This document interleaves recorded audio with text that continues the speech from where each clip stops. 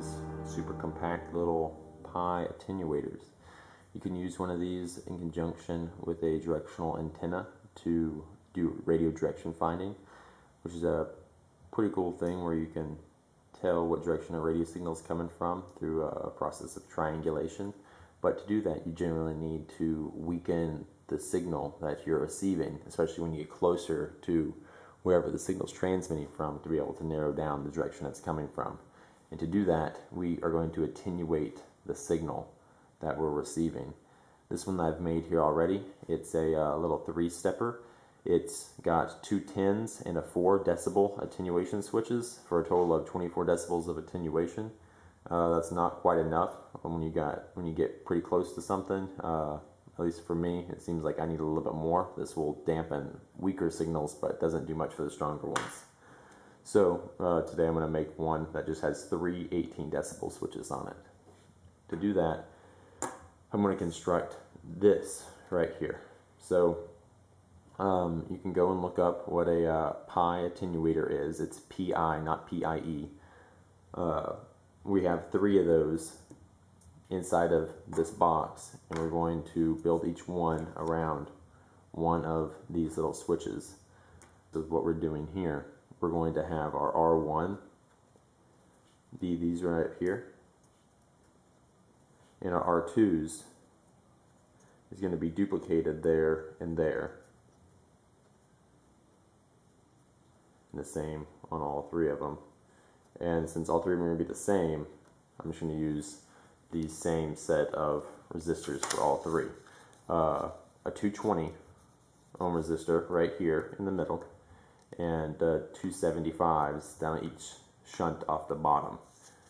How this kind of works is when the switch is off, being open, meaning that there's no contact on the inside for the uh, power to transmit through or the signal to flow through, that it'll be forced to run down through this little pi attenuator except for whenever it's on or closed, then it'll be closed and it'll just short out right here and it'll completely bypass the attenuator, therefore having no attenuation. So whenever the switches will be in the on position, if all three of them were in the on position, you'd have no attenuation.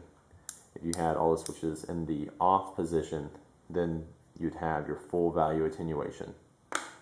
So uh, basically you can take a good look at this diagram here and uh, that'll basically tell you how we're going to be putting this thing together is our uh, signals going to be coming from our center pin on our radio connector. I like to use BNCs because they're quick uh, but you could use like SMAs or something if you want to be more compact. So we're going to uh, basically solder a wire from right here in the center pin to one leg of the switch uh, and then build this little pi bridge off of these two little switch poles right here. You can look up online pi bridge attenuators um, or just uh, pi attenuators and you can have a calculator there that will tell you for whatever attenuation you want to achieve what resistors you need and the configuration you'll need to have them in. So they're free. There's a, a, few calculators out there. They're pretty handy, but you can order your resistors based off of those calculations and uh, I got uh, only like little half watt resistors because uh, remember you're just going to be receiving through this thing you're not going to be transmitting through it so uh, it doesn't need to handle that much power. First things first we'll uh, drill a hole in each end for our uh, radio connectors. And then we will split the box in half just by taking out one side of the screws the same way that we can do here. And we'll cut our holes for our switches and set our switches inside.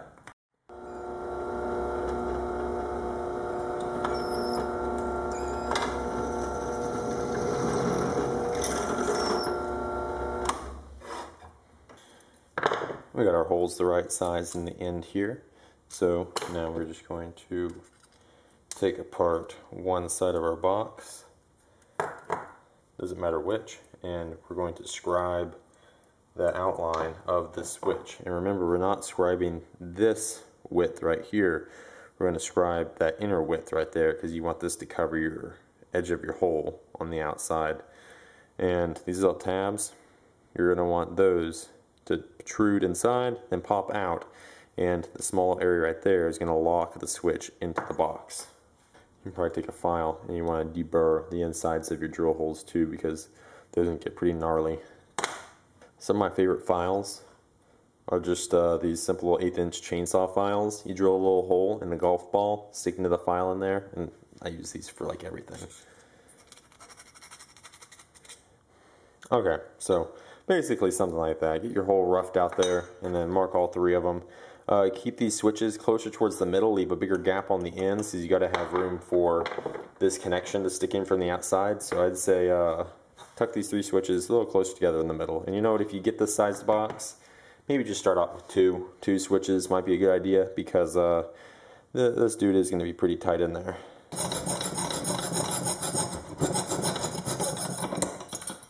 There we go. Our first, uh, our first little hole's done. Uh, I doubt a switch is going to fit in here right now. Yeah, yeah, a little, little too tight. That's fine because we want to have a little bit of room to clean up the Dremel. We can take our end pieces with our connection, or a little lock washer on there. Make sure it's facing out the same side that our chamfered holes are for our screws to make sure it's facing the right direction. Then we can put our little uh,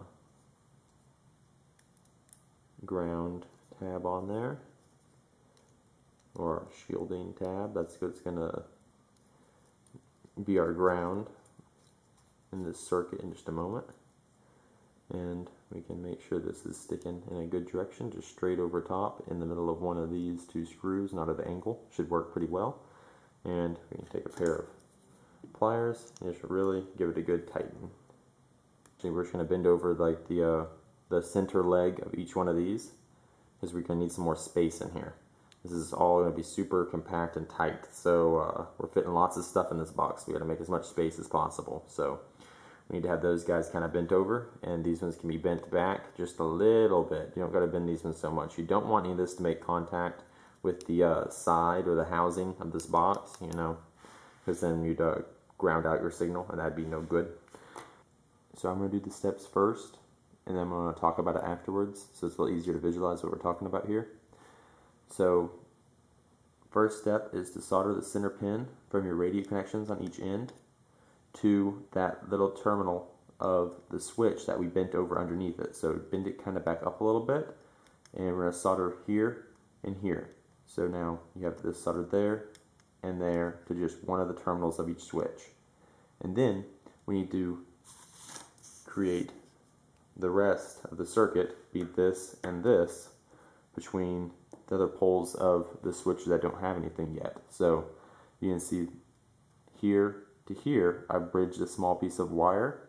And then from here to here, I bridged a small piece of wire. So at this point, every terminal of every switch has one thing soldered to it.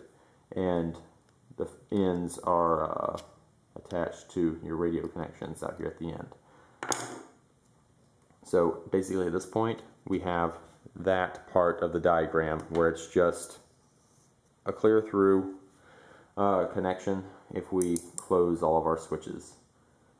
Next, you're going to take your R1 resistor. That's this resistor that's right here, the single one. And you're going to attach that to each pole, basically cross across each one with that single resistor, making sure you're only touching and soldering to those poles. Now we've got the R2 resistors. Each one of these little guys is soldered down to one pole of that switch and they're just kind of standing up there, not connected to anything at this point. I know this is super small and hard to figure out right now, so that's why it's uh, really important to rely on this diagram right here and uh, just, just reason your way through it because I know looking at uh, my soldering job right here is not going to be super helpful for you. Uh, now basically you could either run uh, wire from pole to pole right here on the shielding connection, which is this ground right here, little ground tabs. And we're going to ground out all of these to a common ground that's going to be ran out over the top here. Here we go. It is uh, complete. So this looks uh, so confusing. But basically all I did is I just tied all the uh, ends of the resistors, all the uh, R2 resistors that were hanging up, I ganged them all together basically. And I just uh, daisy chained them from uh, one pole of the ground to the other pole of the ground. So they're all interconnected and it's all uh, one homogeneous unit up here. Uh, basically like a ground plane that they're all connected to. And even if this touches the top of the box when you close it, that's completely fine because uh, the box from the edge of this from the edge of the uh, connectors down here, it's also part of the ground. So to uh, slap the box together, you'll probably have some parts uh, touching the inside of it. That's fine, um, just as long as none of these terminals down here are touching. See these terminals right down here at the very bottom? You don't want those to be touching, but all of this stuff that's up in the air here, any of that can be touching the wall of your box. Anyways, then we can just uh, toss it back together. Uh, put our little screws in, and then we can test it out a little bit. Set up here on a good vantage point we can see that uh, we've got a station that we're tuned into. This is a NOAA weather radio station, so it'll be nice and constant. Uh, as of right now, I don't have any attenuation. All the attenuators are flipped on, so that means that uh, they're just bypassing straight past all the resistors. So we've got a pretty good signal, um, and it gets a little sketchy about here, and then we can go all the way over to here before it cuts out again. But all in the middle here you can tell it's got a pretty good signal so we know it's pretty much in that direction. But uh, we want to get a little more fine-tuned so we can turn on one of the attenuators. And we can see that our window has got a little bit more narrow now. But it's still pretty broad so we can step it down again.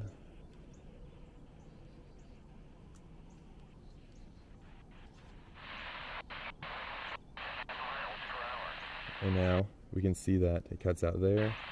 It gets really uh, broken right out there. But it's still pretty clear straight that direction so at this point if you were going to do radio direction finding you could just mark that bearing down on your map from your current location uh, travel a few miles uh, tangent so that'd be back off to our right or to our left somewhere and uh, basically do the same thing again and then uh, you'd be able to triangulate a rough area of where the signal is coming from. You could travel towards that area and just repeat the process a few times and, until you honed in on where it's coming from. But uh, anyways, the, the uh, Yagi's working pretty well and the attenuator does its job, so